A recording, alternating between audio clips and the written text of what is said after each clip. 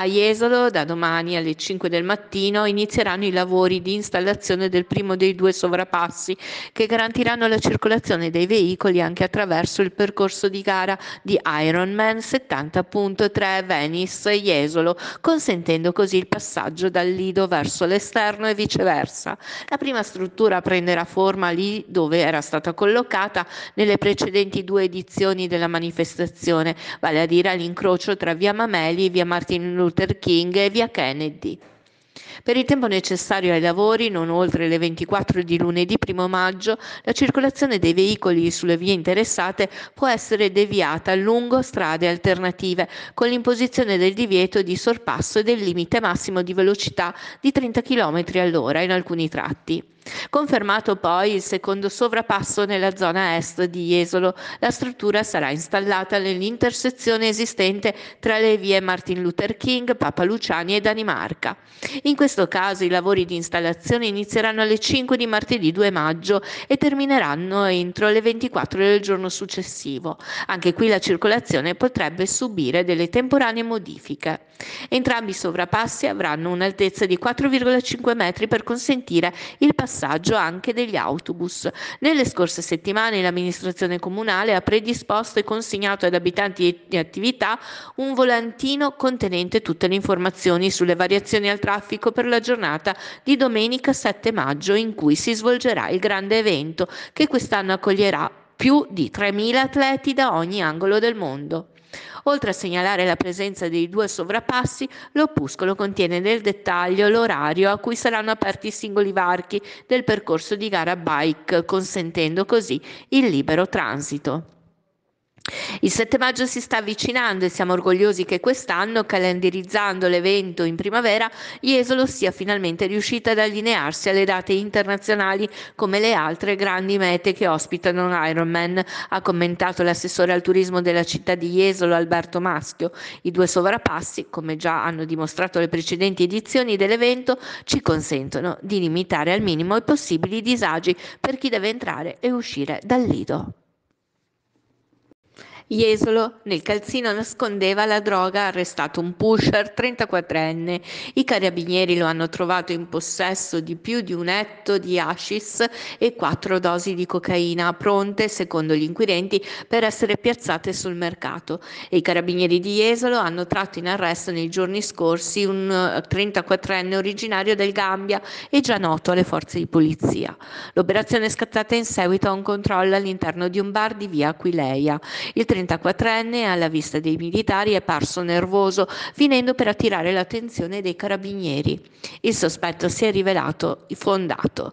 Prima di essere perquisito, l'uomo ha cercato goffamente anche di disfarsi di un sacchetto di carta al cui interno i militari hanno poi trovato la droga, un panetto di hashish e alcune dosi di cocaina.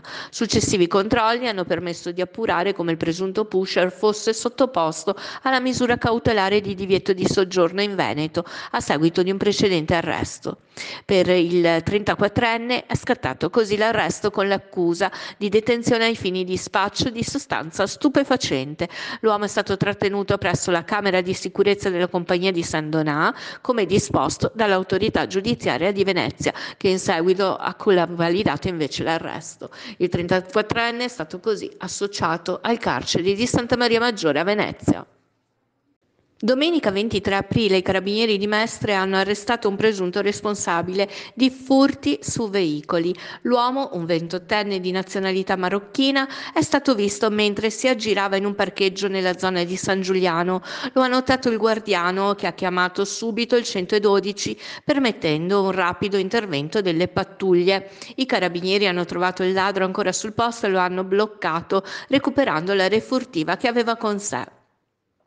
Da quanto accertato, il ventottenne irregolare sul territorio nazionale si era introdotto nel parcheggio scavalcando la recinzione, dopodiché sarebbe riuscito a mettere a segno due furti, uno in un camper dal quale avrebbe sottratto un tablet, un navigatore e altro materiale, l'altro all'interno di un'automobile dove invece ha staccato il monitor dell'impianto audio. L'arrivo dei carabinieri ha impedito che la scorribanda proseguisse. Tutta la refurtiva è stata restituita ai proprietari mentre l'uomo è finito in arresto con l'accusa di furto aggravato. Il Tribunale ha poi convalidato il provvedimento lunedì mattina applicandogli il divieto di dimora nel comune di Venezia. Torna a Milano l'isola che non c'è, la città si fa bella in primavera grazie al progetto del distretto del commercio, riproposto dopo il successo all'esordio dello scorso anno. E così domenica 30 aprile dalle ore 9 alle ore 20 sarà una giornata di mercatini, expo, shopping e intrattenimento in piazza, con un occhio anche al passato. Il programma è stato messo a punto in queste settimane dai commercianti e titolari dei pubblici esercizi di Milano in collaborazione con il comune Confcommercio commercio del Milanese e ne è nata una giornata inedita da non perdere per riscoprire la città, i luoghi, le sue usanze e come queste sono mutate nel tempo. Più di 100 gli espositori presenti in piazza tra negozi a cielo aperto, bancarelle di sapori e tradizioni, angoli di artigianato locale. L'ovale sarà tutto dedicato a una suggestiva rievocazione storica in costumi d'epoca, con dimostrazioni di antichi mestieri in stile medievale e i giochi di una volta. È la Milano di un tempo che rivive nel cuore pulsante della città riproponendo le sue radici, in particolare ai più giovani. Ma le curiosità non sono finite, poiché in piazzetta Herrera, attorno alla fontana, sarà allestita anche un'area interamente dedicata al food, con stand gastronomici, DJ set in stile vintage e l'esposizione delle mitiche Fiat 500. Tornano infine le visite guidate in carrozza con il tour organizzato tra le bellezze storiche, architettoniche e paesaggistiche di Milano, già proposte con successo lo scorso anno. La compagnia aerea statunitense United Airlines ha ripristinato il collegamento diretto stagionale tra l'aeroporto Marco Polo di Venezia e il suo hub di New York, che sarà operato giornalmente per il periodo estivo fino al 28 ottobre. Il servizio del vettore si unisce ai voli giornalieri diretti esistenti offerti dal vettore da Roma e Milano. Siamo lieti di ripristinare il nostro servizio tra Venezia e New York, ha commentato Walter Cianciusi, Country Sales Manager di United in Italia. Con il ritorno del volo da Venezia i nostri clienti nell'area del Triveneto e oltre avranno la possibilità di raggiungere più di 60 destinazioni in coincidenza verso tutto il continente americano. Siamo impazienti di accogliere nuovamente a bordo i nostri clienti, ha continuato. Per il direttore commerciale di Save, Camillo Bossolo, invece la ripresa anticipata ad aprile del collegamento già riattivato nell'estate del 2022 dimostra come il bacino d'utenza di Venezia sappia generare una domanda sempre più estesa verso gli Stati Uniti. La maggior capacità offerta dall'aeromobile Boeing 777-200ER, che per la prima volta opererà la rotta, conferma l'attenzione di United Airlines nell'intercettare le esigenze dei passeggeri e le opportunità di mercato.